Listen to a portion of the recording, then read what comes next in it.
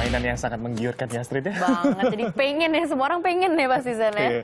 Berikutnya seorang peneliti Amerika Serikat sedang mengembangkan sayap pesawat fleksibel sehingga bisa memasuki daerah yang sempit. Ya, dan sementara itu pesawat tanpa awak milik Angkatan Laut Amerika Serikat berhasil mengisi bahan bakarnya di udara. Informasi ini sekaligus menutup Net 24 malam ini. Saya Z Design. Dan saya Astrid Satuika, selamat malam dan Selamat, selamat, berakhir pekan.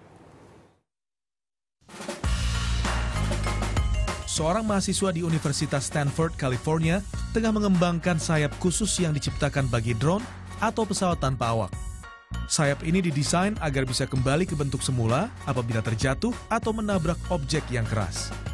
Sayap-sayap canggih ini telah dilengkapi pula dengan bermacam sensor canggih. Namun tetap saja sayap ini mempunyai kelemahan.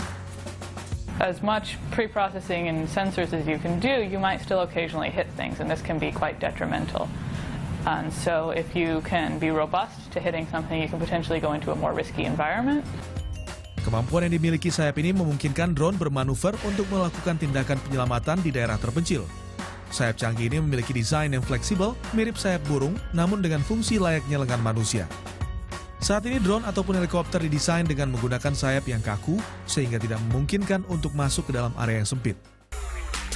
Sementara itu, Angkatan Laut Amerika Serikat berhasil melakukan uji coba pengisian bahan bakar di udara terhadap pesawat tanpa awak mereka. Pesawat jet pembawa bahan bakar Omega K707 berhasil mengisikan sekitar 1.800 liter bahan bakar ke pesawat tes Northrop Grumman X-47B.